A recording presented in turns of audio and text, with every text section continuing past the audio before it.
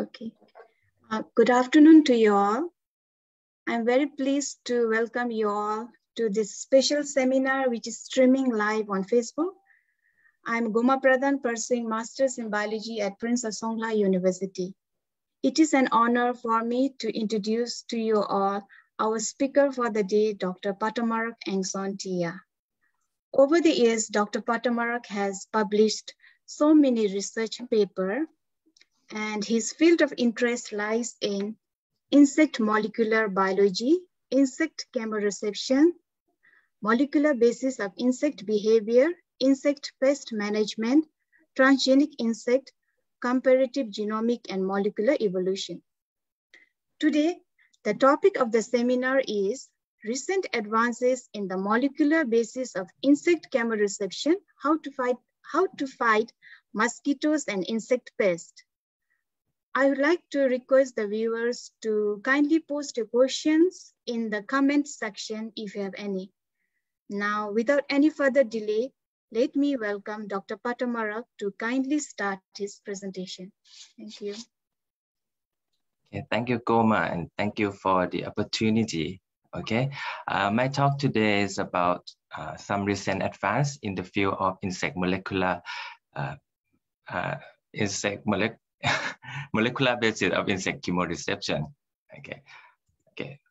I, I, I'd like to start my talk by talking about the importance of insects. Okay, some of them are deadly uh, disease vector.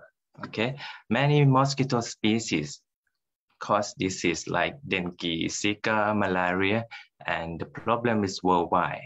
Okay, some of them are important agricultural pests for example, in this picture, it is the uh, rice field that's affected by the plant hopper. Okay, so th they are the reason why we have to use insecticide, the, the nasty chemical that can cause cancer and very bad for environment. So we have to think about a better way to deal with insects.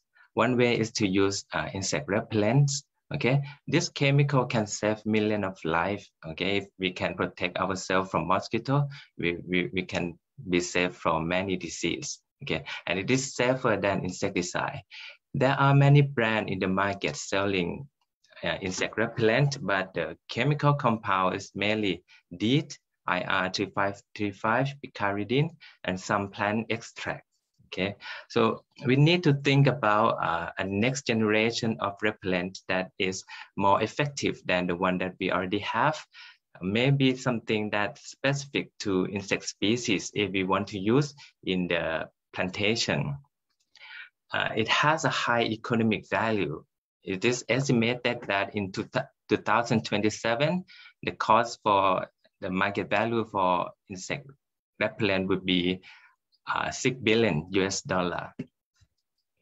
So, so how, how can we develop a new insect repellent? Well, basically, we, we have to understand how the insect perceive the chemical. That's why uh, uh, molecular basis of insect chemoreception is one of the most active research area in the field of insect science. The key research area include identify key receptors that insect use, so we can use a technique like genome and transcriptome.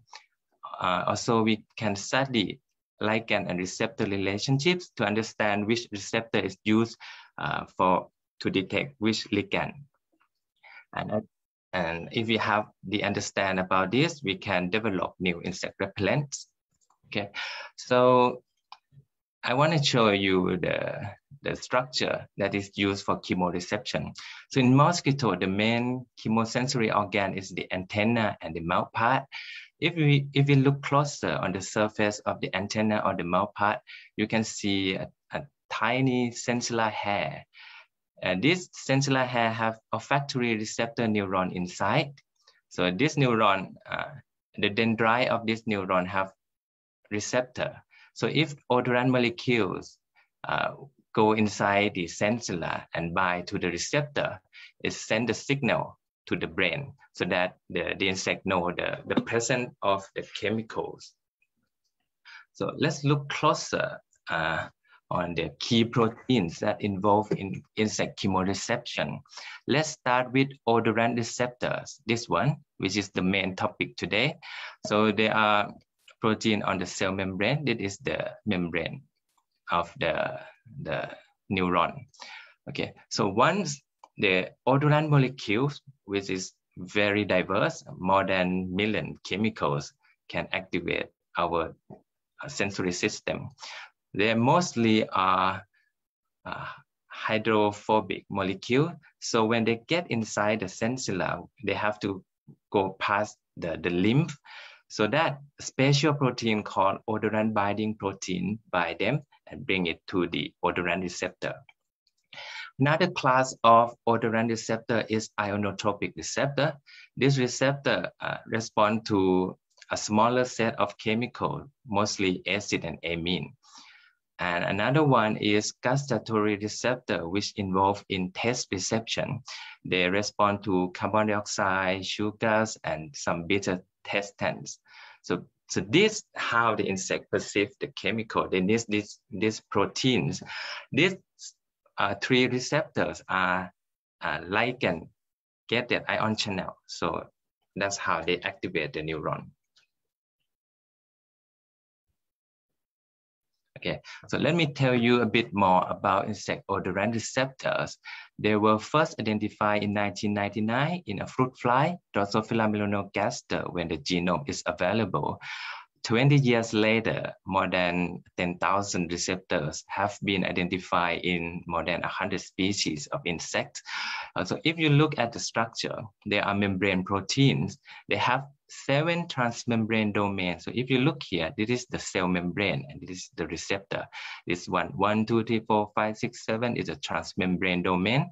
It has uh, N-terminus inside cell and C-terminus outside cell. So they actually two protein work together. The first one is ligand binding receptor.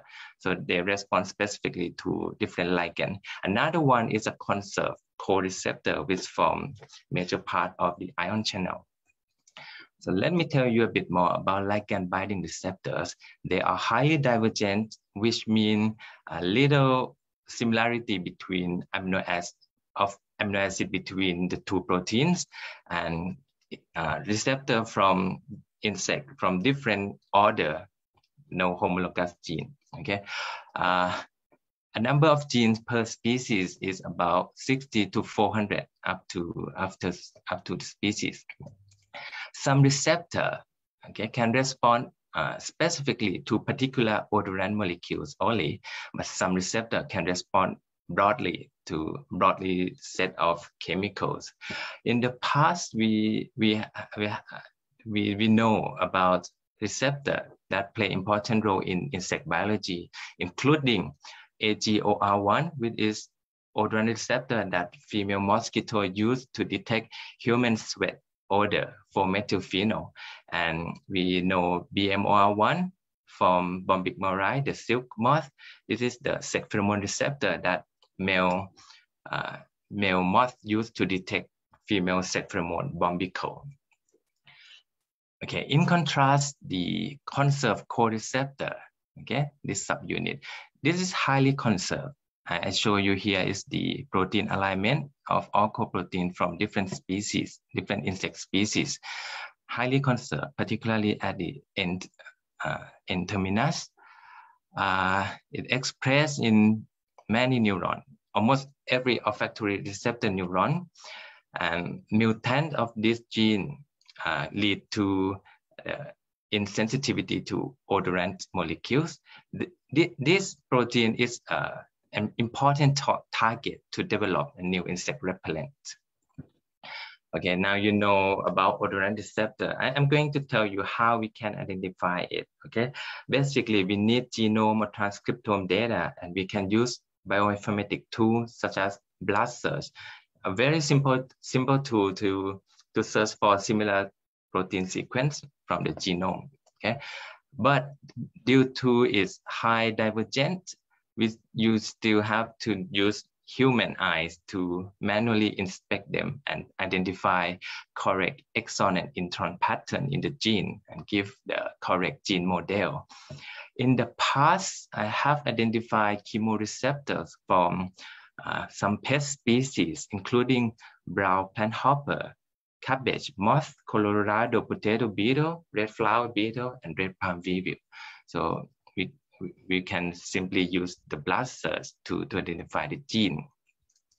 Okay, let me tell you a bit more about how we can study its function. Today, there are two major, two main methods to study this. The first one is empty neuron system. So if you want to test the function of the receptor that you are interested, uh, you have to create a trans transgenic fruit fly, okay, that express your receptors in the in the sensilla, so that you can measure the activity when that sensilla exposed to to the chemicals. Okay. Another one is xenopus oocyte recording. So you basically isolate the oocyte from the female frog, and then you inject mRNA that code for the receptor that you are interested. So, and then they translate them into protein. And so basically you create, uh, you mimic the olfactory receptor neuron using egg, using oocyte from the frog, and then you export them with uh, chemical, and then you can test elect electrophysiological response. So these two techniques has been used to, to identify uh, ligand and receptor relationships in, the, in this field. So I want to talk about uh, the recent breakthrough in the field. Okay, so for the first time after 20 years, we now know the 3D structure of the insect odorant receptor. So Ruta Lab from the Rockefeller University have a report, have used uh, cryo electron microscopy to study 3D structure of the insect odorant receptor. So in 2018, they first published this structure in Nature Journal. Uh, this is the structure of Orco protein. They are actually uh, homotetramer. So four protein come to work together as the, uh, the odorant receptor. So if you look here, there are four color, right? Each represent one subunit. This is the cell membrane. This is transmembrane region, and this is intracellular loop. Okay, this is the side view. This is the top view. If you look closer into each subunit, Remember I told you there are seven transmembrane protein. You can see here, one, two, three, four, five, six, seven. N terminus inside cell, C terminus inside out, outside cell. So when they come together, the seven transmembrane domain face inward, okay, and form pore for ion channel, for, for ion flow. And the intracellular loop here called anchor domain is where the, each subunit bind loosely to each other. So this, okay, and on top view, each subunit has a binding pocket on the top, right? So chemical can bind to this pocket. And, and this is how, how they form the, the ion, ion flow pathway, okay? This is outside, this is inside, so ion can go in and out through this pathway. Okay, so earlier this year, the same team published in Nature again the 3D structure of the ligand binding receptors. So they use receptor from the bristle tail. Okay, uh, this insect uh, has only five receptor, but one each receptor can respond to many chem chemicals. So they want to know what it look like uh, the 3D structure, what it look like. So they can respond to chemicals such as eugenol and also DEET. Okay, so it is the structure. Very similar to Orco protein. There are four subunits. Okay, the seven transmembrane domain form uh, face inward and form the ion flow. Okay, ion ion pathway, and there is binding pocket on the top.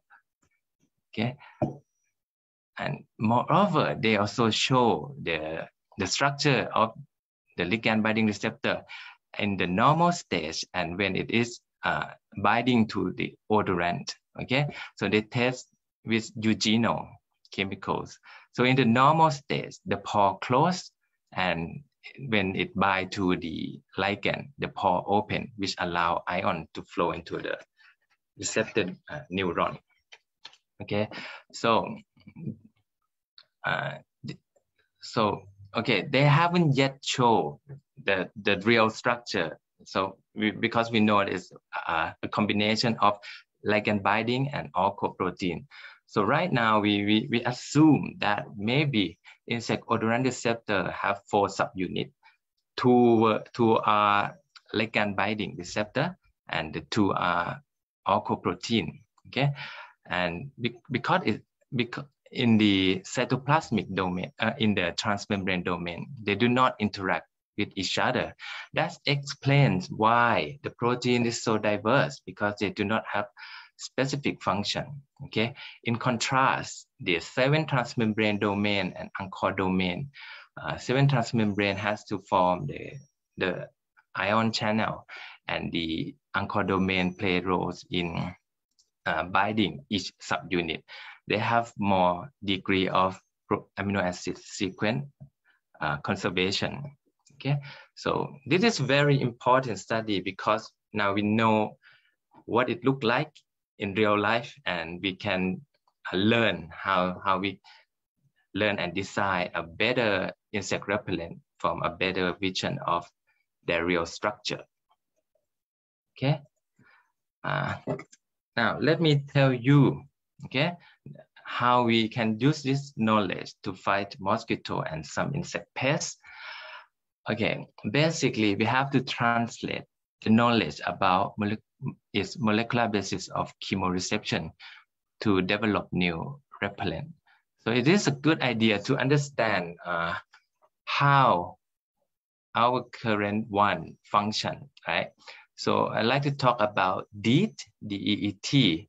It is the most widely used insect repellent. It was developed 70 years ago by USDA, used first for US Army, okay? Is most widely used because it is low cost, uh, has broad spectrum, so it can uh, repel, protect us from many insect species and include some arthropod like thick and long-lasting effect at a couple hours maybe, but we still need to reapply them, right? And it has good toxicological profile, so it's quite safe for ourselves. However, the down point about DEET is that it has short distance effect, okay? And it has some unpleasant odors and it dissolves plastic. And in fact, it is not the most effective one in the market. Other rep repellent uh, perform better against mosquitoes. So we still need to find a, a better one, that a better repellent. But let's start by understand how DEET work in insect, okay? In two, 2008, 2008, team of team Ditzen, so from Rockefeller, they said they show that DEET target Orco protein is inhibit the function of Orco proteins. So basically, when we apply DEET on ourselves uh, and the mosquito come close to us, we uh, we stop them to we stop that sense of smell so they cannot see us. Okay, that's how DEET work based on this study. And later, the same team in 2013 showed that mutant fruit fly that do not have Orco protein show less sensitivity to DEET. They show it behavioral assay. However, in 2010, Lee and team showed that DEET target another class of receptor, the taste receptor, gustatory receptor, and suppress feeding behavior of the fly. So now we know maybe did do not only target orco, it's also target gustatory receptor. Later, Su in 2014, they showed that actually DEET also target ligand binding receptors. So they study in Culex mosquito, there is the receptor called CQOR136, and, and the mutant of this receptor show less response to DEET, and this receptor respond to methyl jasmonate, which is uh, chemicals that plant use in, in their defense, and is strongly elicit uh, avoidance behavior. So Sue showed differently. So Sue said, these actually smell bad for, for the mosquito so that they, for the for the mosquito so they do not come to us. Okay, so that's different from this cell. Later in 2019, another team showed that well, actually DEET and other widely used repellent IR3535 and picaridin, it do not actually activate olfactory receptor neuron in another malaria mosquito, Anopheles coluzzii. It actually interact with the chemicals on our skin and prevent them to, to reach the neuron of the mosquito. So basically, from this study, did alter our chemical signature. So maybe it confused the mosquito. That's why they don't uh, come and try to bite us, okay? However, the natural repellent, for example, uh, lemongrass or eugenol, it actually uh, activate some olfactory receptor neuron. So they have different mechanism. Okay. So in conclusion, for the how did it work? Well, basically, we now know did target different class of proteins. Their mode of action remain controversial. We don't know exactly yet. So, and it can have different insect effect on different insects. Okay, but what we can learn from this is that uh, maybe the new insect repellent should be some chemical that can target different class of receptors. Also, we can use more than one active ingredient in our repellent so that they can have this effect. Okay, let's talk about how we can screen for the new insect repellent. The first one is using high throughput screening. Okay, a team from Vanderbilt University in USA uh, they use the drug discovery facility in their university to screen for chemicals that can activate a complex uh, odorant receptors from mosquito. Okay, so they express the protein, they express the gene in the HEK cell, which is human embryonic kidney cells. So this cell uh, produce the insect receptor, and then they test with so that this machine uh, release different chemicals. Uh, more than 100,000 chemicals were, were tested, and only one, VUAA1, has the strongest effect. So it activates Orco protein. Okay, and it has been shown behavioral in behavioral assay that it is a hundred thousand times stronger than DEET.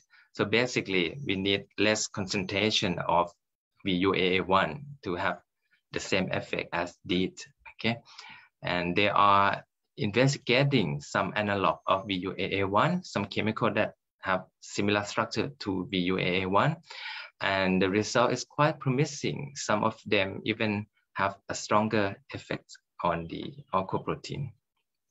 Okay, uh, this technique though has a limitation because this platform is developed was developed for drug discovery. So most chemical here is not uh, volatile chemical. Okay, so basically in this test, there are a lot more chemicals that can be repellent and is missing in this study. So this, this is the limitation of this technique. Another method, okay, they use cheminformatics, machine learning, artificial intelligence, try use try to use this technique to screen chemicals. So I'd like to, to talk about this study in 2019 from Kepchia, okay? They test activity of AGT compounds against Anopheles Orco protein. So they did do it experimentally using empty neuron system. Then they get the results. So they use the result for training the machine learning mod model. Okay, so this model now can separate between the chemical that can activate Orco and the chemical that cannot activate Orco. Then they use in silico screening, they use that model to screen more than 1,000 chemicals, and they get a, a subset of chemical that presumably have th that function. So they validate its function using different method. electroantennogram, empty neuron system, and also behavioral assay. They identify two chemicals, BMP and LF, that have repellent activity. So, so basically, they are they use different method to to identify new insect repellent. Okay, so that's how we translate the molecular basis of insect chemoreception into development of new insect repellents. Okay, then that's how we find mosquito. Okay. Uh, let me tell you a bit more about my current work. Okay, I, am studying chemoreception of this mos mosquito, Mansonia mosquito. They are endemic in Thailand. We have six species in, in Thailand. They are vector for Brugia malayi nematode okay, which cause lymphatic filariasis or elephant legs, okay. And it's still problem in southern Thailand, particularly in Narathiwat province, and it's also a problem in Malaysia and Indonesia, okay. And it's uh, neglected tropical disease is happening in the poor countries, so nobody study them. Not many people study them. So in this mosquito, Mansonia mosquito, no one have studied that genetics before. So that's the purpose of this work, try to understand their genetics and identify chemoreceptors. This work, I, I work with uh, Professor Thirapat Charan Viriyapha from Kasetsart University, and I have worked with two students. They already graduated, Supicha Anandprasert and Soravit Chairat. This study was funded by Thailand Research Fund. The aim is to identify key proteins that they use in chemoreception and try to understand the conservation of genes across mosquito species so that we know which receptor is important for their biology. And then we can choose them as a candidate for development of the new repellent. So in this method, I collect mosquito from Pru To Daeng, Narathiwat. Uh, it is uh, the largest peat swamp forest in Thailand, okay, which is an ideal habitat of these mosquitoes. And I do RNA sequencing. I, I, I extract RNA from the head and the body part separately. The reason why we do this because we want to have as many head as possible because uh, genes chemoreceptor gene expressed at very low level. So we try to increase the amount of RNA from that genes. And we use Illumina HiSeq platform and we do de novo assembly. Uh, I use BLAST2Go to identify uh, an entire set of genes, not just chemoreceptor genes. But for the chemoreceptor, I do it manually to identify uh, smell receptor, taste receptor, and odorant binding proteins. And I perform phylogenetic analysis to identify some orthologous genes so that I can predict the function. So here is the result. We successfully identify uh, chemoreceptor genes, okay? And then when we construct phylogenetic relationships, we can identify some conserved receptor and we can predict function, its their function in Mansonia. For odorant receptor, uh, we identify Orco protein, the ion channel co-receptor. We identify ortholog of OR1, the, the one that mosquito use to detect human sweat odor, and also OR4, same, the human odor receptor. And we find ortholog of OR2 and OR10, which is indole and skatole receptor. It's essential for female mosquito to, to detect egg laying site. So this chemical produced by bacteria. So it's common in where they can lay the eggs.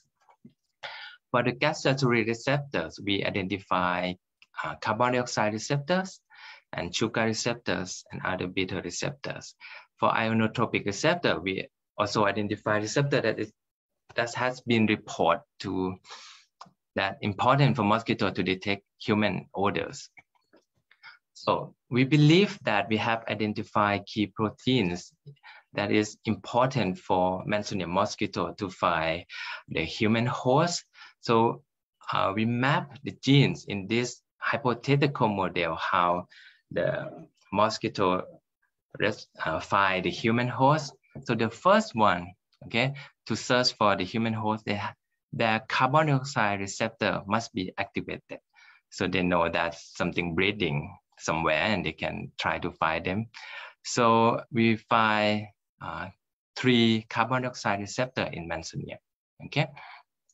So if carbon dioxide receptor are activated, the ionotropic receptor IR8A has to is another checkpoint.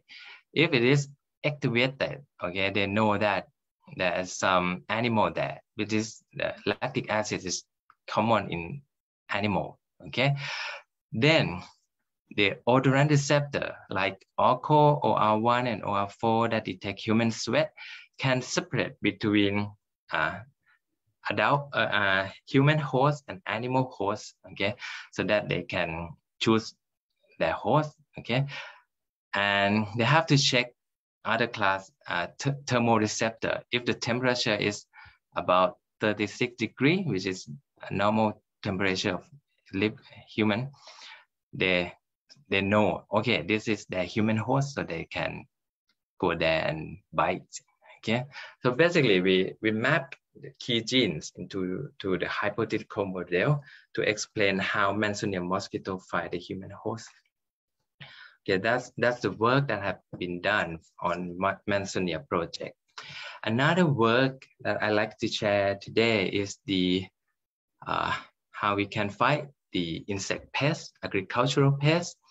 So I study red palm weevil, Rhynchophorus ferrugineus. It look like this. So there, there are serious pests in Asia. If you look at the map, okay, they destroy oil palm, coconut, and date. Okay, so in Middle East, they, this beetle destroy the date production.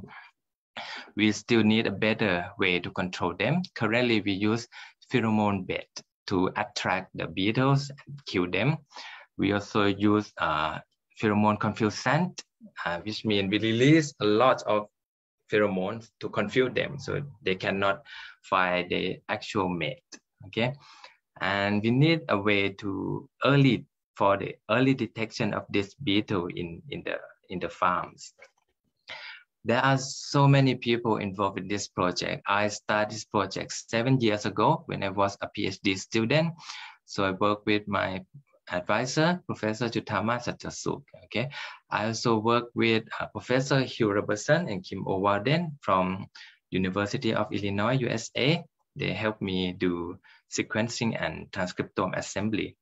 So when I become a lecturer, my students that time, Sirion Aksontong, Yuki Anasawa helped me identify chemoreceptor genes. And, and, and later, another student, Kanchanamat Malipon, also worked on the transcriptome and she visit uh, Professor Ewald lab in Germany to, to work on this project. So many people help this project.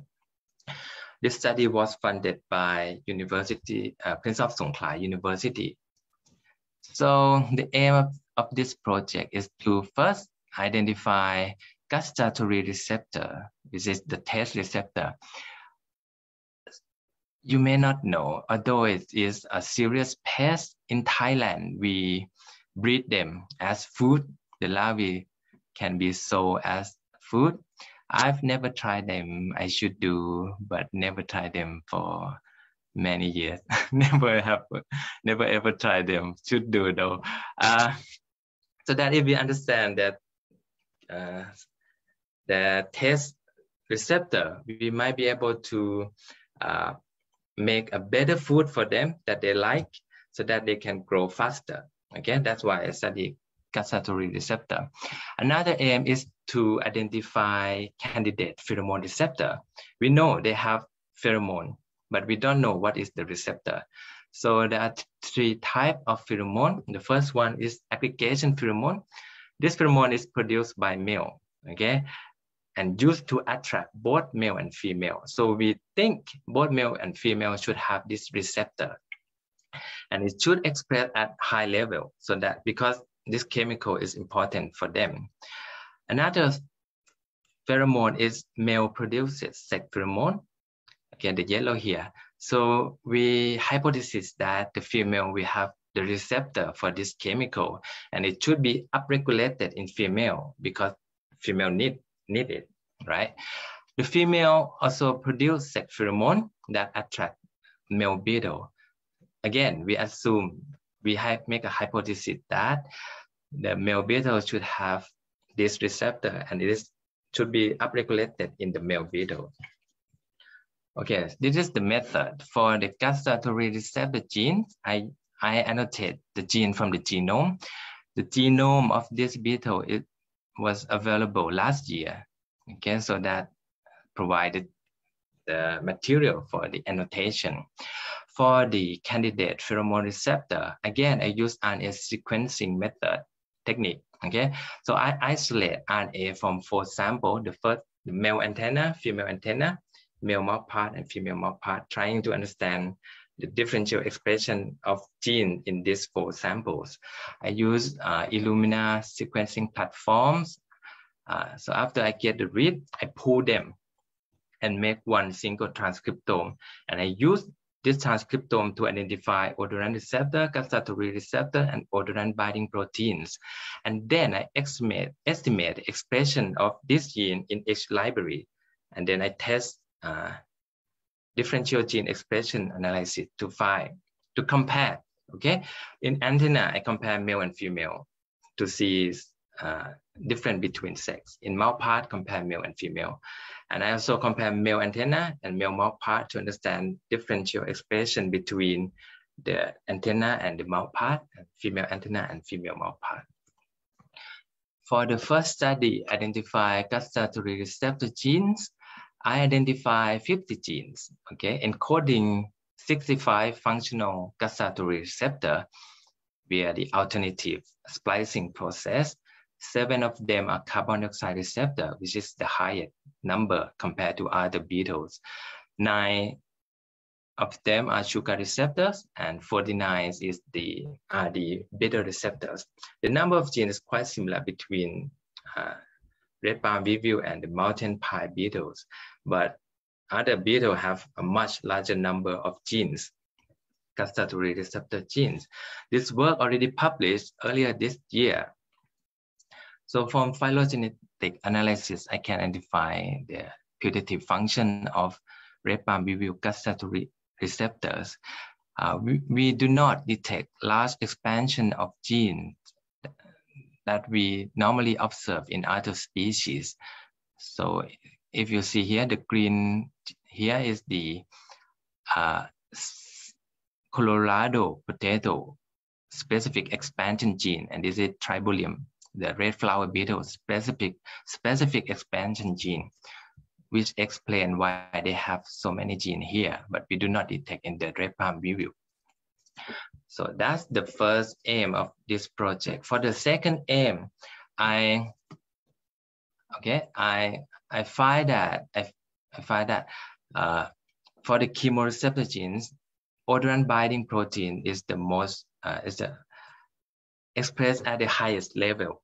Okay, 60 odorant receptors are upregulated in the male antenna in the antenna, so which uh, related to its function, right? Antenna used for olfaction, and 11 gustatory receptor are upregulated in the mouth part, which related to taste function. Orco gene is the highest expression gene in both male and female antenna. And I have identified candidate pheromone receptor from its, its the expression pattern. The first one is aggregation pheromone. Find one candidate. It is the second highest expression gene in the male and female antenna okay uh, for the male sex pheromone sex pheromone I get one candidate it is upregulated in female mouthpart for the female sex pheromone I get, I've got four candidates three is three are upregulated in male antenna and one is upregulated in male mouthpart okay earlier this year okay Antony et al from Saudi Arabia they have identified aggregation pheromone of the red palm weevil. Basically, they they found what we're trying to do. Okay, they found alpha OR1.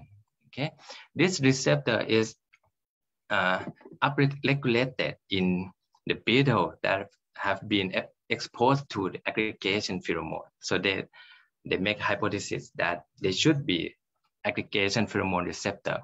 So they use empty neuron system to to see if they can really respond to pheromone component. So the study showed that they specifically respond to uh, aggregation pheromone, the blue and the orange here. And they are also respond to chemical that have similar structure to the aggregation pheromone. They also show that if they increase the amount of uh, aggregation pheromone in the test, it also increase the response uh, of, of the receptors. So they propose that they can use this receptor in the development of their receptor-based biosensor to detect the, the, the beetle in their farms. Actually, this uh, biosensor is technology is already available. Uh, people have used insect receptor to de development biosensor. So good, so they, they can use, they, they can apply their knowledge into that bio biosensor. So when I see the paper, I test if my candidate aggregation pheromone is the same thing. So I do protein alignment and you can see here it's 100% identity between the two proteins. So basically uh, our assumption is correct, although we're not the first to, to, to, to show, okay? It's sad but good at the same way. Anyway, I still have two receptors to identify. So I have to confirm the differential expression between male and female first. And if there's some good result, maybe we can further process to functional analysis. Okay. Okay, for the conclusion, again, basically now the breakthrough in the field, we understand 3D structure of insect odorant receptor proteins that will help us un understand how ligand and receptor binding, and it's good to develop new insect repellent. There are many approaches to identify insect repellent. However, we have to start by identify key receptors of the insects that is used in detection important chemicals. And lesson learned, okay, we the repellent should target different class of receptors and maybe a combination of many chemicals. And new insect repellent uh, is being developed, okay? For example, VUAA1 is analogs, okay? It might be available in the market in 10 years after this, okay? That is that could save our life from mosquitoes and uh, from other disease vectors. Okay, so this is possible because people in the field do basic research and try to understand insect uh, chemoreception. Thank you.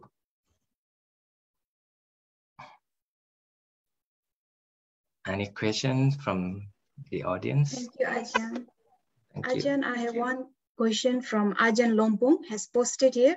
So I will read that question to you. Okay. Okay, the question is, uh, can lemongrass repel mosquitoes? If yes, what is the bioactive compound? Can human receptor perceive it? Uh -huh. And, what, and why we respond to like, but mosquitoes dislike it? Okay, okay. Uh, let me show you. Should I read the question once again? I just... Uh, it's okay. I, I, understand the question already. Trying to find the, the picture. Okay. So yes, the lemongrass extract can can can activate insect receptor and it activates ligand binding receptor. They have specific receptor that respond to the chemicals in the lemongrass. Uh, there's some essential oil, I don't know, some aromatic chemicals. I don't know certain, for, for sure which one, okay?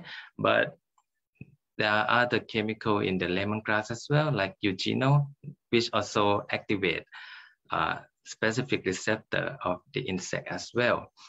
Uh, we human can also smell the lemongrass odors. We have different class of receptor. We also have G protein couple uh, odorant receptors. So in evolution, we, we, we can detect them. We have receptor for them too, because in for us, that chemical could be a signal of food, right? Come from come from fruit, something like that. So good for us.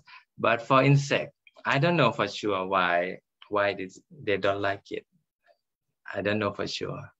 It might be chemical that uh, present in the tox some toxic plant that some plant that toxic to them. So natural selection favor mosquito that avoid them. Okay. Am I answer all the question? Did I? Did I? Yes, Ajahn. Yeah. Okay. Uh, I have one simple question, Ajahn. Like uh, you, you mentioned that VUAA1 analog is a new insect repellent. You just mentioned in the conclusion. Yeah, yeah. So my question, yeah. It's being developed. being okay. Developed, okay. Uh, they is they function better than DEET. So okay, but they have to think about uh, how to use them in real life, how to mix them with with some other stuff to make it available in in the form of insect repellent. Okay, and maybe they're trying to find a better one, not the VUA one. Some you know they find a patent and maybe a secret too. So my question was like, how, how will this new insect repellent be better than the present, present existing insect repellent? How are the scientists trying to make new insect repellent better than the present existing insect repellent? Okay, so uh, for VUAA1, let me show you. Okay, so so that means we we use a lower concentration of them, so we don't we do not need to use as many as the one that we already have. So that that's something showing that they are more effective. Okay? And we are looking for something that can have uh, long have last have effect longer like applies one a day or apply once a week that we be looking for something like that or we also looking for some chemicals that that's highly volatile so that mosquitoes stay 100 meter away from us something like that we, we're looking for for chemical that have that properties.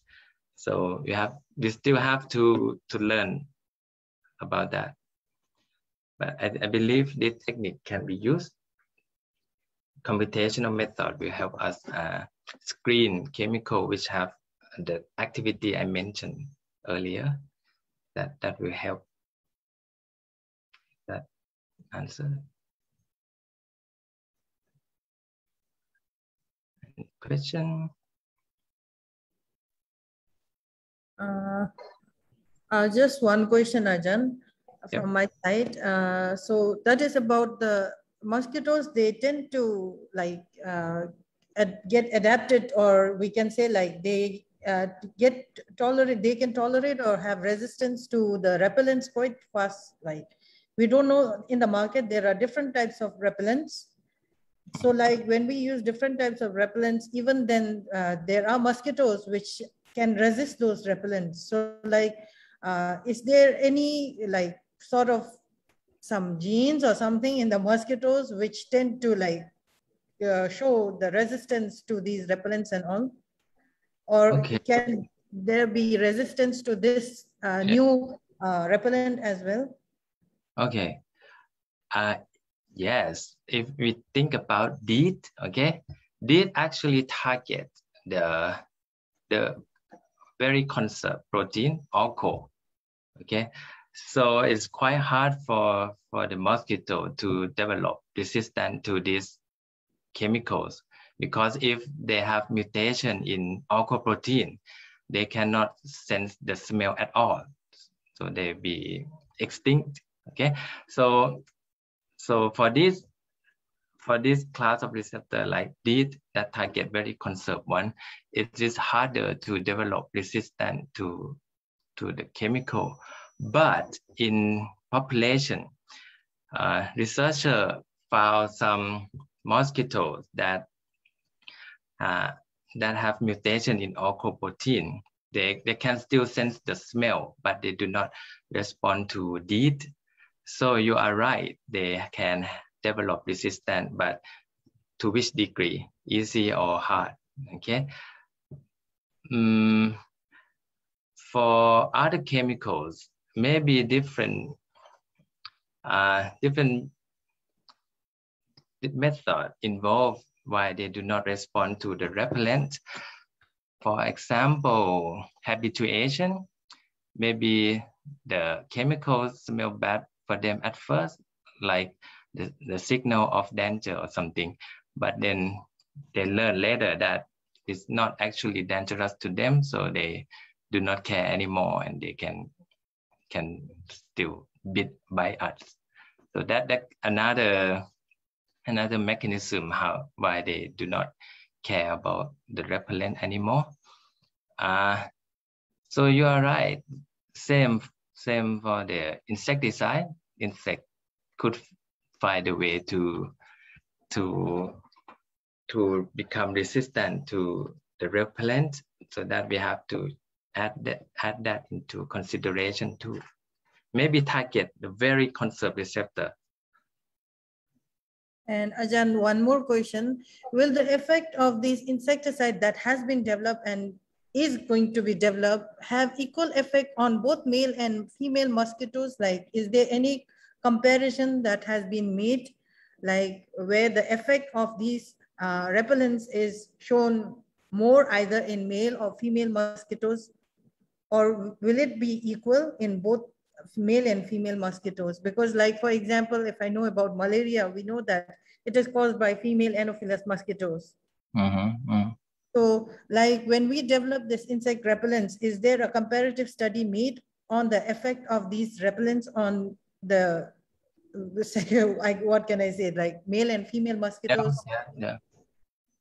Uh, I believe they they did that too in in the in the paper compare the effect between male and female. Yes, but and I, can there be any specific reason because I guess both male and female mosquitoes will have the chemoreceptor, right, Ajahn?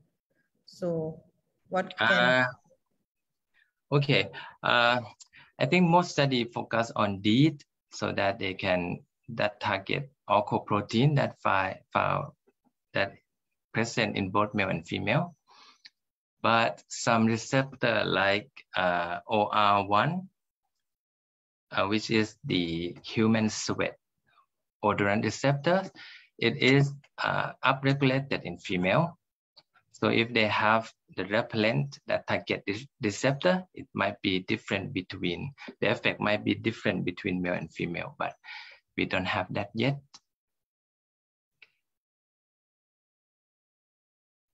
Did I answer that? Yes, Ajahn. We don't have that yet. Uh, so I think. Did I answer that? Uh, there is one more question. There is one more question, yeah from Ajahn Kitika. So the question is, how can rep repellent repel mosquitoes? Okay. How can repellent repel mosquitoes? Okay, so there are different possible scenario. The first one is to inhibit the scent of smell. So when we come close to us, we become invisible to them because we stop their sense of smell. That's what this scent found. Or maybe repellent smell bad to them. Okay, so they the repellent can activate some neuron that send the signal to the brain, the insect brain that there's some bad chemical here, let's move away. That's what Sue found. And lastly, recently, uh, maybe the, the repellent alter our chemical profile. So we smell different, we smell weird, we smell, our smell change. So the uh, the mosquito do not find us attractive and they do not bite us. Okay, so many way to, to mode, there are more than one mode of action of the repellent. Depend. Okay, but uh, in Thailand, we try to develop repellent from plant extract, like from lemongrass oil, eucalyptus oil, something that that chemical activate uh, neuron of the the mosquitoes, the the that they perceive this chemical as the, something bad, dangerous chemical. That's why they avoid us. We, we become bad plant for them, so they avoid us. Okay.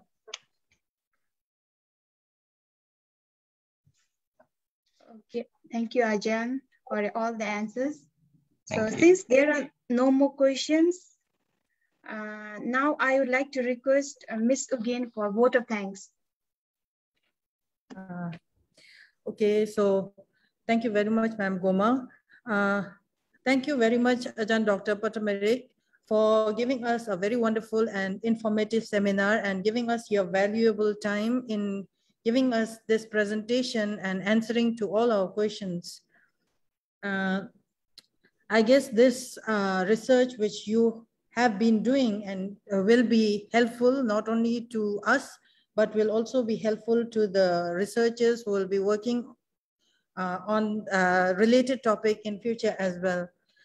Next, I would like to thank Ajahn Dr. Pim Shanok for coordinating this seminar and giving us the opportunity to uh, attend such informative uh, seminar.